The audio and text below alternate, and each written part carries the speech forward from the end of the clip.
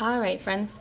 So while we are waiting for our sand to dry, um, I'm going to show you some ways to create different color blues so that we can paint our water and our sky.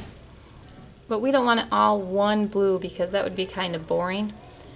We want to make it different color blues. So usually the water can be different colors like blue-green or a purplish blue or different color blues.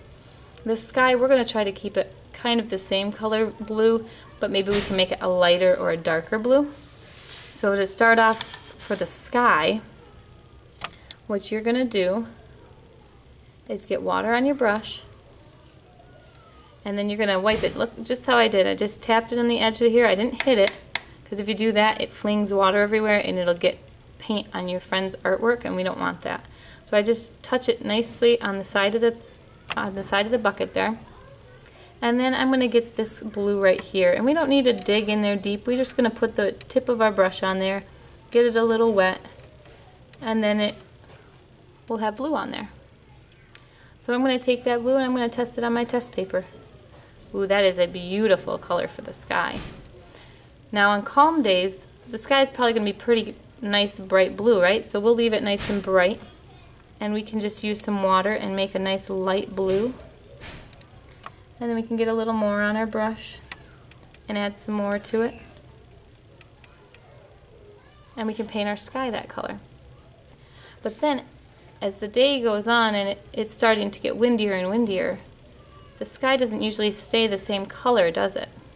When it's super windy sometimes it's nice out but sometimes the sky will get darker so you can choose if you want your sky to stay the same all the way across, or if you want to make it get darker as it goes across the sky, like it's starting to storm a little. So if you want it to get darker, there are two ways you can do it. You can add more paint to your brush, so get more of the same color on your brush, and then it'll look like it's darker. See how it went from the lighter to the darker? The other way you can do it is if you get the light color on your brush, you can put it in the lid of your paint tray. Just like that. I'm going to do it again because I didn't get enough.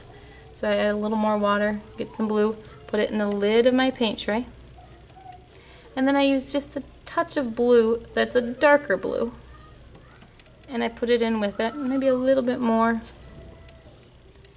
And now I have a darker blue. So it went from light blue to a little darker and a little darker.